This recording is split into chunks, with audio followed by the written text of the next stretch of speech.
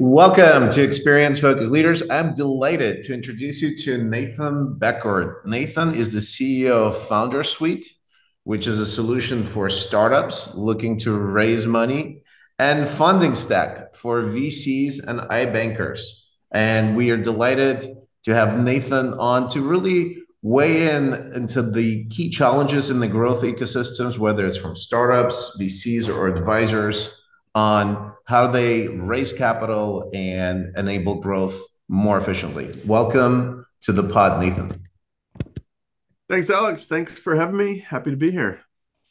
So, Nathan, tell us a little bit about what are the main challenges in investor communications? And you have a really great insight into both investor communications from to startups or growth companies to VCs, and then VCs themselves raising to limited partners that fund their funds. So you have a pretty holistic view. I think we discussed earlier the essence of simplicity and not overloading people with too much information to begin with. But let's dive into more details because I can't think of a person with more clear view into that than yourself. Yeah, on the startup side, startups approaching investors, communication has to be almost painfully simplified and short. One of the mm top bits of advice I give founders all the time is you know make your intro email your intro request email as short as humanly possible. A mistake i see is founders will put their entire history in the intro email right? Five paragraphs of dense text and they attach a 45 megabyte powerpoint and they're wondering why they're not having much luck on their fundraising because no one actually looked at your stuff they saw that email nope and they they move it beyond so and, and I think the context is yeah. just to like dive into that because this is we, we can treat VCs in this case as any busy uh, decision maker, whether it's an executive that gets pitched a lot of ideas or VCs gets pitched a lot of deals. They're overwhelmed with typically kind of these types of introductions. And we distinguish between VCs and, for example, maybe angels that don't have the same uh, volume and they're they're scanning this on their phone in yeah. in the well in the toilet or whatever on the move on the run in between like sure. in between meetings and that is the context for where a lot of this could be received is that accurate one of the challenges in getting through to these busy people absolutely that is that's a good summary they are getting hundreds of these intros a day from people they know and they're getting a lot of cold email too right so it's both that's all coming into their inbox, into their phone. And they are, they're spending a few seconds really skimming these emails, looking for something that catches their eye. Oh, this guy was early meta employee now doing something in AI, whatever. They're mm-hmm. looking for mm-hmm. little diamonds that are jumping out. And then they might click through to the deck and see mm-hmm. what this person's all about. But they're not taking the time to thoroughly read and contemplate your long email. And they might not even go through and click through to the, the deck unless it really catches their eye in the email. So that's so again, to summarize, picture they're getting hundreds, even a couple hundred startup intros a day coming at them. They're just processing each one in a matter of seconds. That's why short is better, right? You can get into the more detail as your relationship with the investor progresses. And you will, right? Once you get, hopefully, your intro email leads them to at least look at your deck. I always tell founders have a little teaser deck, often a link. Like we have a pitch deck hosting tool in Foundersuite, and you can put it up online so they can just click that, see it. Couple slides, five slides or so, talking about what you're doing, problem solution, market traction team. And that's interesting enough that they say, thank you for contacting me, CCing my assistant to set up an intro chat. That intro chat, maybe it's 30 minutes, maybe it's a little longer. They like what you're doing. They like, they get a vibe from you.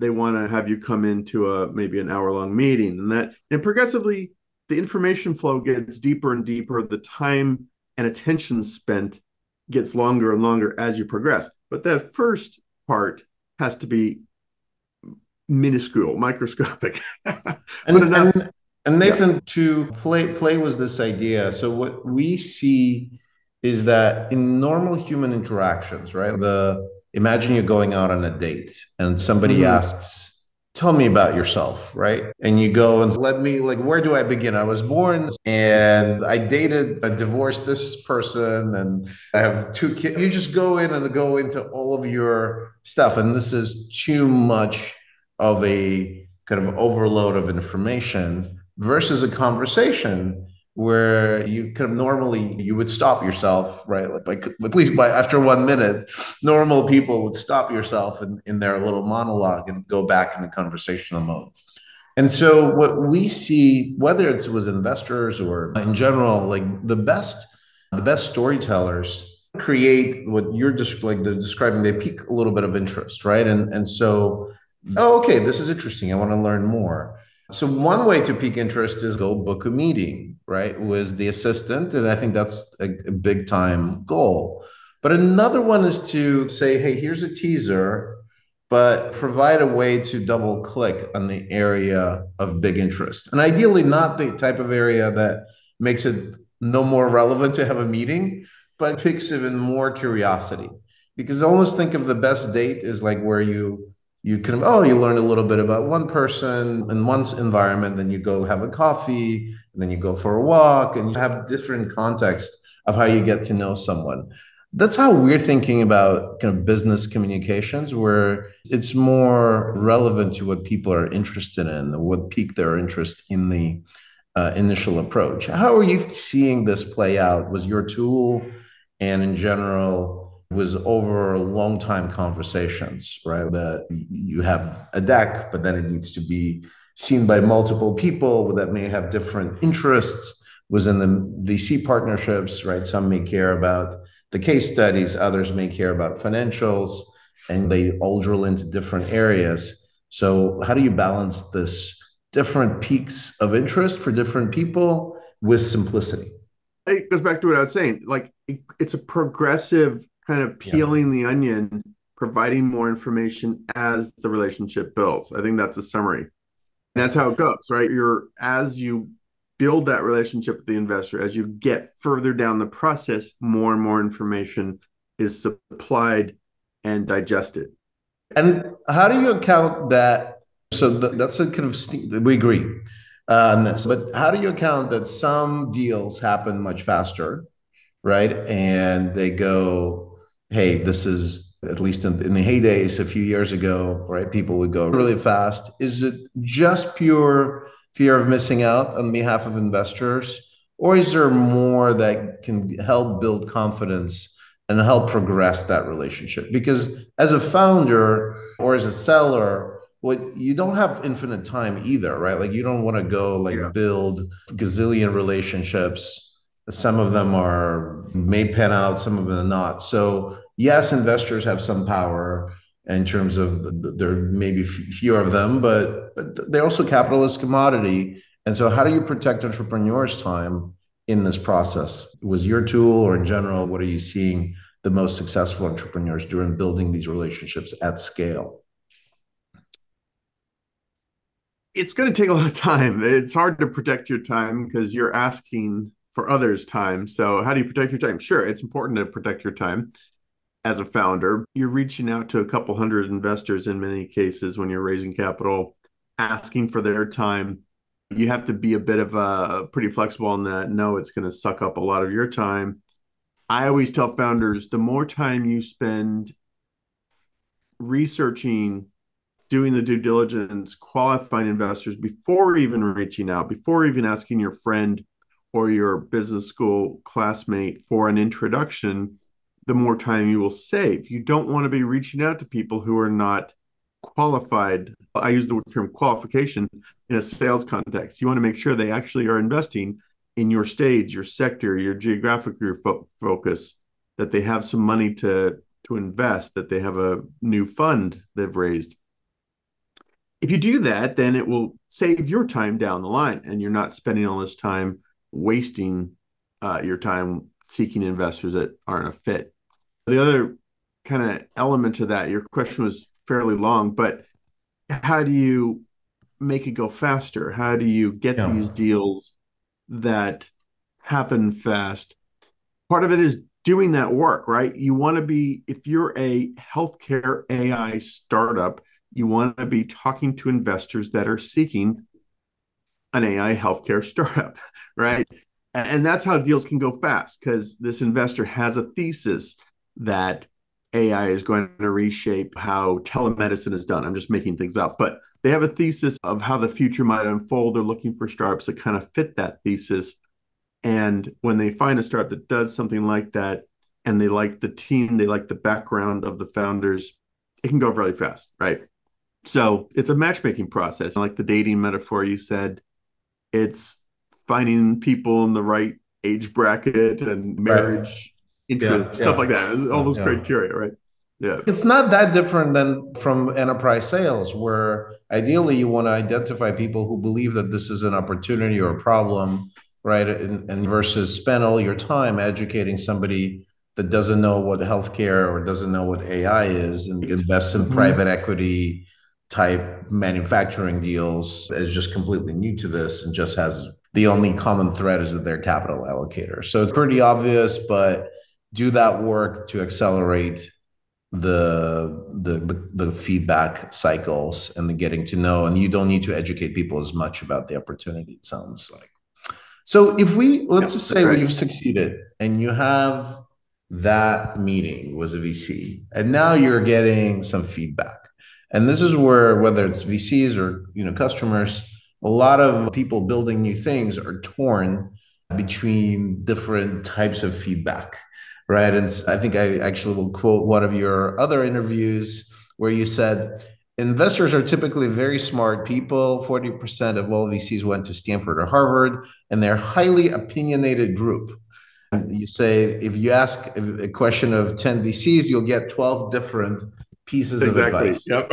So I think conflicting, conflicting, conflicting right? And they're conflicting. Yes. And sometimes even the same person will say two different things. It could be that, and it could be this, and it's and they all maybe meet. Maybe they just want to appear smart because they went to Harvard or Stanford. I can say that as a Stanford alum. I don't. I think it's overrated that it's a sign of intelligence, but there is a there is something people are able to communicate some ideas incredibly fast. And then they do have the benefit of pattern matching.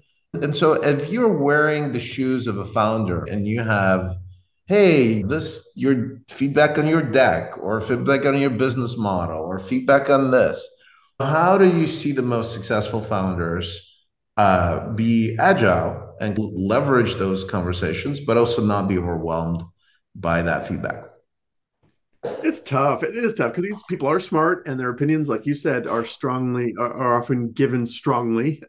I think the and so it's hard not to get kind of investor advice whiplash sometimes, right? Because sometimes it is conflicting or makes you just jump all over the place.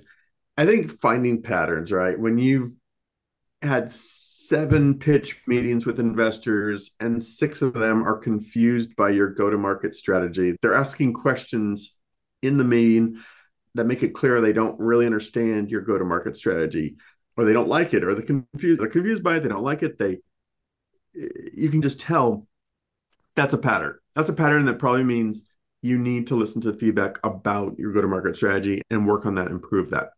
Now, others will just have you know, wild advice on what you should build as a product or they should go after different markets. Stuff like that, I tend to, okay, thanks. I'll put that in my little product ideas note and file it away, but not pivot my startup based on that. I think that's the danger is founders pivot their startup based on every bit of feedback. Oh, this investor said if I went after uh, the gerontology market instead of the youth market, he might be interested. Maybe I should go after Jared and pivot my whole business. That's pretty dangerous. You can you can really damage your startup doing that. And frankly, I, I, just to so look for patterns, take it all with a grain of salt, take it in, meditate on it a little bit, but don't necessarily always act on it. And then, frankly, I've learned this a bit the hard way. I listen to my customers and users 10x more, or I wait the opinions of my customers and users 10x more than what a VC says. Yes, they are very smart and they have the pattern recognition. They're seeing a lot of things out there in the market, but it's really my customer they mm-hmm. listen to, not as much the VCs.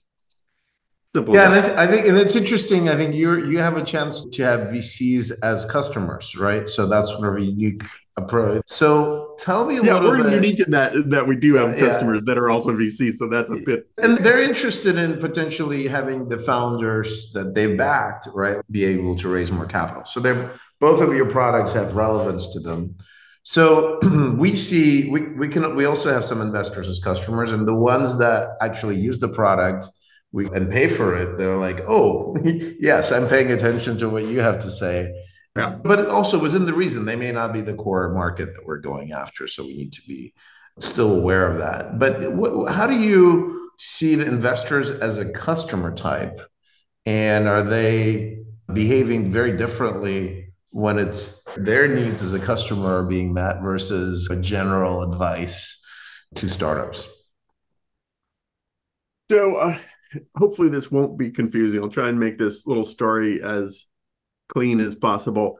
Back when we were raising capital a long time ago, we had some advice from a VC.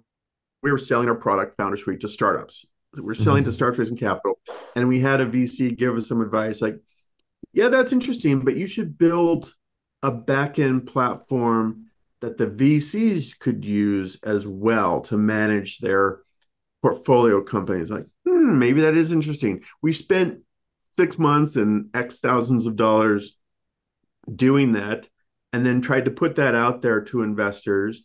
And we learned that all these investors manage their portfolio companies in 10 different or 100 different ways, right? And some mm. of them have built their own internal systems, some of them are using spreadsheets. Like, we couldn't sell a product to save our lives, it just didn't work. So, product advice from that VC about what we should build was bad advice. It led us down a dead end path, and we mm. threw all that code away and wasted time and money on that, which is dangerous as a startup because you're pretty limited in time and money. Now, okay, that was a couple years ago. More recently, you know, so that was an idea from a VC that we pursued down a dead end path. More recently, on Foundersuite, we started to get some VCs using it, oftentimes they would be pulled in by their startup founders who are raising capital. They would invite their VCs into the account. The VCs would be using it. And then the VCs would contact and like, hey, I've been using this with Acme, one of my companies, but I have seven other companies that are raising capital. How do I work with those companies? And we're like, mm-hmm. well, we haven't thought of that, but we had enough of those VCs identifying a use case they wanted to do that they wanted to do. And we built a product which ended up becoming Fundingstack and we've since launched that and we now have several hundred vcs using it. So we were pulled into that market by actual kind of customer need and demand versus an idea from a vc right. that makes sense. Right. And then yeah, so well. so ideas are cheap. What you're saying is ideas are cheap. Uh, customer behavior and actual usage and what they do as your product is the real kind of driver. And so if VCs become users or referrers or some part of your go-to market, that's a way more valuable signal. They were making, they were using our original product Foundersuite in a way we hadn't even designed it for. And it wasn't yeah. perfect for that. It wasn't really built for that, but they were still using it and finding enough value even with its imperfections, that we're like, all right, if they're willing to do that with an imperfect product, let's actually build a real version for them. And it's been pretty good in terms of adoption. Yeah. Let your uh, customers, whether they're startups or VCs, pull you into that market. Well, so I think what's interesting, you mentioned the power of product development. And so whether it's for VCs or in general, like one of the challenges I think that we see is how do you quickly roll out new products and then also communicate so that your existing customers actually use the new features your future customers know about them. We we see a lot of organizations struggle with that even relatively small organizations. So both in the velocity of rollout and then communication. Do you see that this is a um, pervasive challenge? Is it becoming faster? Was like SaaS companies or other types of companies that are a little bit more maybe more equipped to to have faster release cycles? You've had a pattern match on this over time, and then how important is that velocity in the, the kind of in the investment process from what you've seen? I wouldn't say we're the masters of this. We could probably do better. Our our approach, our process is pretty simple. Like again, we're still I consider us a startup, even though we've been around several years. We're still fairly small, about 31 people, and we're resource constrained. We can't build everything people want or ask for or every idea that comes in our brain. I always wonder what Foundersuite or Fundingstack would look like if we had raised $100 million. We probably would have gone on all these other paths and dead ends and create building mm-hmm. crazy stuff. And it'd probably be a very bloated product, right? Part of the beauty of being resource constrained is you can only build a few things at a time. And so it goes back to the same thing I've, I've said, but we're looking for patterns from our users. Oh, look, repeatedly, customers are asking. Here's one very simple example. We have a pitch deck hosting tool. You can upload your pitch deck, you can send it out through the system. You can see who opens your email, who opens the pitch deck, how much time they spend on the pitch deck over and over again, we're getting customers saying, I want to track the per slide views, right? Which is something DocSend and and some others have. It's a pattern, right? The the market expects that in the functionality, so we're going to build that. That's just one simple example. Sometimes that's like keeping up with competitors, but other times it's something a little bit more innovative where customers like, oh, it'd be so cool if I could do XYZ. When we start to see that pattern, then we figure out how much time it will take to build it, what kind of business impact it will have, whether it could actually leap us forward a little bit. Here's an example of leaping forward. We're about to launch a ChatGPT integration to our email tool, right? No one else really has this. Whereas the DocSend viewing the time per slide is keeping up with the market, making sure we're you know competitive with the market. This is actually fairly innovative i think but it'll help you write emails to investors and others things like that. And we're getting people signaling around that. Now how do we communicate this stuff once we launch? Here's what i'd say we're not the best at it. We usually put it in an email newsletter yeah. and say hey new product and that's about it. Sometimes we'll have a banner or I'll, I'll show it on our onboarding webinars. We do periodic webinars for new users. So I'll show new features on that.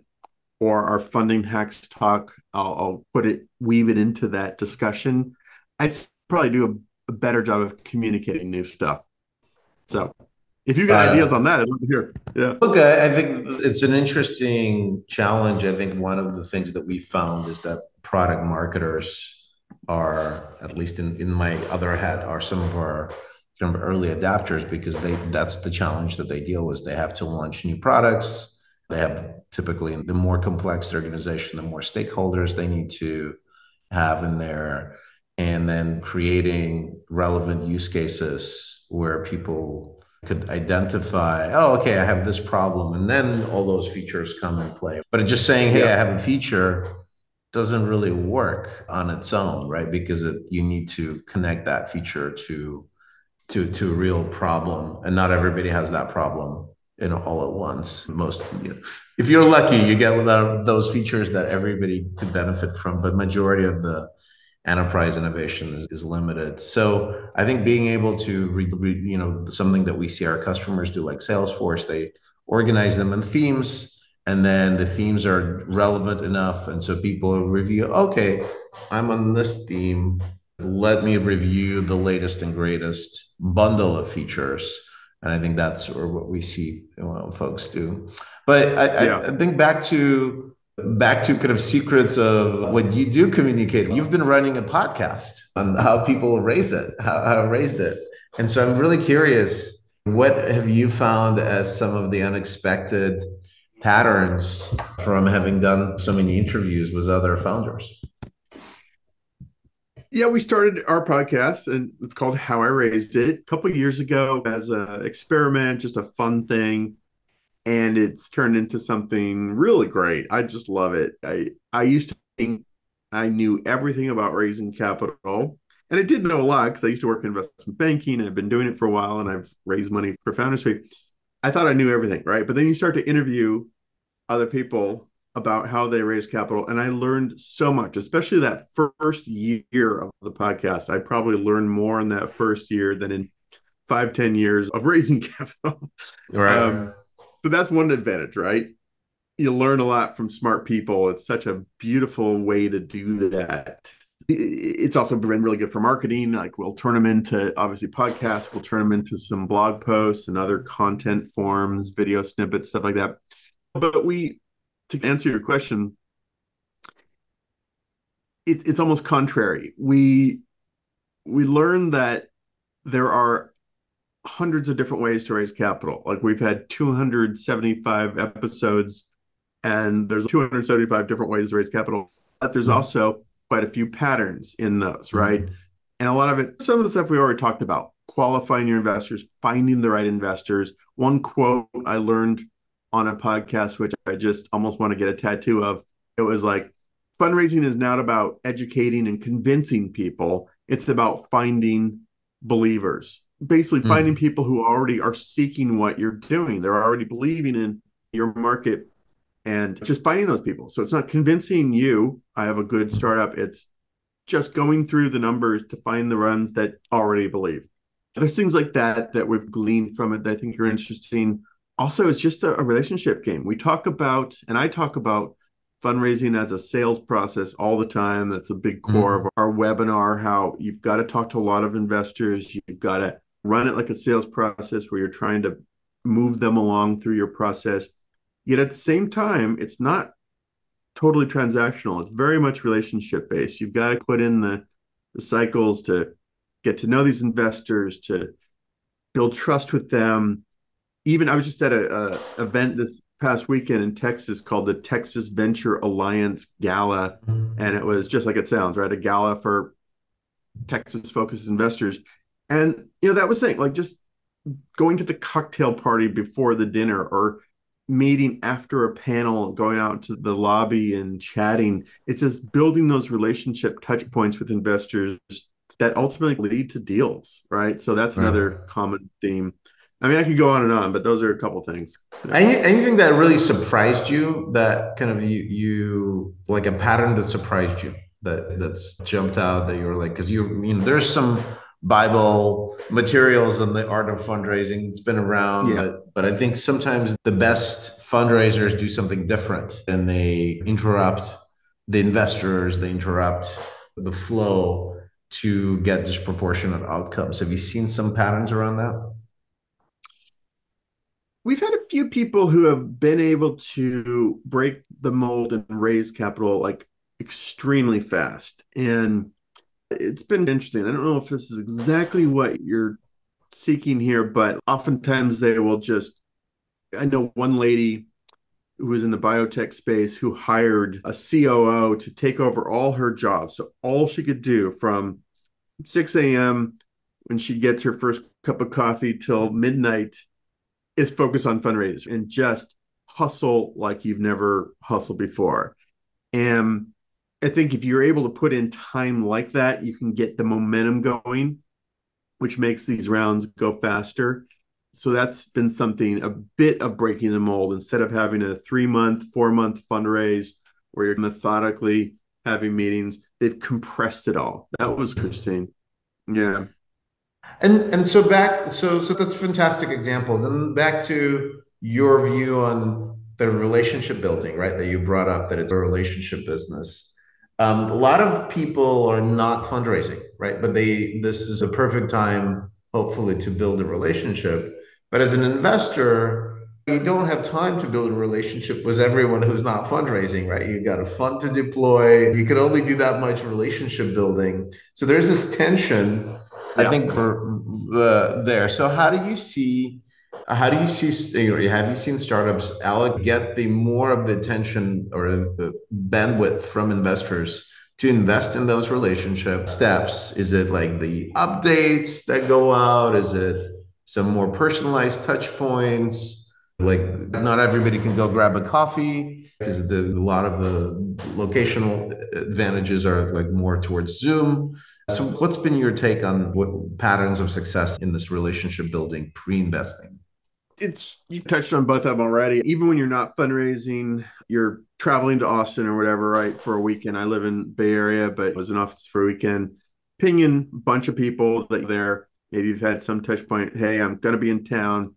If you have a few minutes, if you're going to be at this gala, let's catch up over a beer real quick.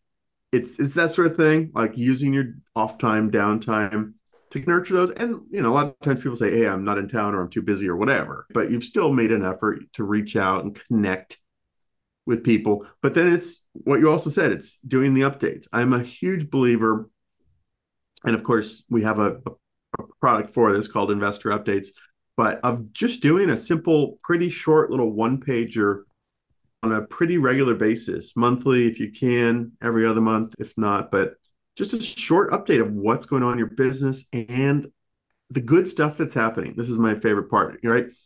The good stuff that's happening, the progress you're making, new products, new team members, press, whatever it may be, metrics, growth, new customers, whatever it is, right? Just sending out a regular update. And yeah, maybe only half the people on your investor list or your distribution list actually read it and up and look at it but you can track that in the analytics and you can see who's doing it. If you get into that habit, and that really doesn't take more than 20 minutes a month to do, mm. if you once you get into the pattern, great way to try to nur- nurture those relationships. Fantastic. Uh, Nathan, this has been so helpful. And it sounds like for a lot of the problems, you already have some that startups and investors may be facing, you already have some tools. So, how can people find you? and leverage leverage those tools that you've already built to address those needs sure of course. Here's the the plug time right? Foundersuite.com is our platform for startups.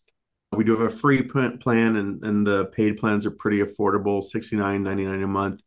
And then if you're an investor or vc raising capital we have fundingstack.com a little bit more of our enterprise version a database that has more LP investors, ways to manage multiple deals at once, and some other features and things like foundersuite.com, fundingstack.com. And then pretty active on LinkedIn. Nathan Beckord on LinkedIn. Uh, maybe mention you saw me on Alex's show I'm happy to connect with you. But we publish pretty good content all around fundraising and a lot of stuff we've already talked about today on that a couple times a week. And it, some of it's pretty viral stuff. So it seems to be working and seems to be pretty good. Amazing. Nathan, thanks so much for joining us and sharing your expertise. And all of you looking to fund your startup or investors out there, please take advantage of these tools. We believe in digitizing the fundraising process, the sales process, the marketing process. And Nathan is part of the tribe that believes in that and is helping with that. So, really excited to have you on and share your expertise, Nathan. Thanks so much for joining us. Thank you so much. Appreciate it. It was fun.